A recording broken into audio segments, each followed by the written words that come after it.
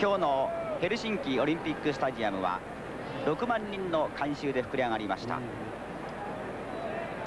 久々に青空が帰ってまいりました。時折雲の合間から太陽の日差しが差し込んでまいります。これから男子 200m 準決勝が行われます。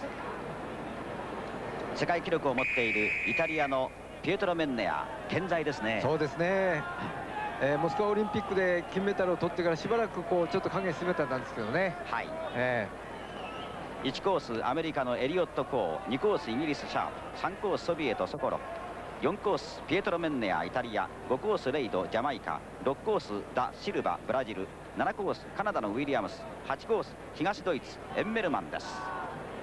このエンメルマンがメンネアと争うことになるでしょうね。はいそして1コースにいる佐々木さんアメリカのコーも最近力をつけてきましたね、はい、そうですね。若手ですがね。はい。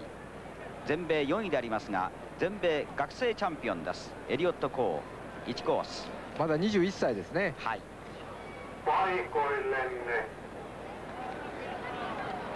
この 200m ではあとアメリカでは期待のスミスがいますがこの後の第2組に出場いたします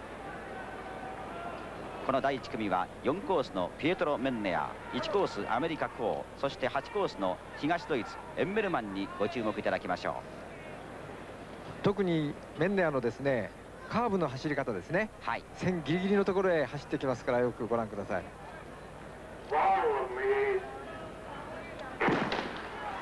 スタートしました。200m の準決勝です。真ん中青いランニングシャツを着ているメンネアです3コースソコロフが出ました。ソビエトソコロフです。メンネア少し遅れましたかソコロフそして2コースのイギリスシャープが出ました。シャープさらにまたダッシルバブラジルも頑張ります。ブラジル頑張ります。メンネアちょっと遅れました。ブラジルが入りました。ブラジルのダッシルバが入りました。メンネアはちょっと遅れましたね。そうですね。しかしダッシルバーは伏兵ですね、はい、よく走りましたねメンネアはちょっと出足から元気なかったですね、はい、これがまあ決勝にどうやって響くかですね、はい、上位4名まで決勝進出が決まりますが決勝進出は問題ないと思います。ブラジルのダシルバモントリオールオリンピック5位に入っています。ご覧いただきましょう。メンネアはこの辺からこうあがいてあがいてこう出てきますね、はい、非常に苦しいレースだったと思いますでただダシルバーはですねもう全身こう力を入れないとですねよくリラックスをしてますのでよくスピードに乗ります。はい。メンネはやっと4位で入りましたね、えー、そうですね。3位そうですね。3位か4位。ちょっと厳しいところですね、ね、はい、えー、そうするとアメリカのコーがちょっと危ないという感じになりましたね。はいそうですね。これは厳しいしかし準決勝のレースでしたね、はい、そうですね。はい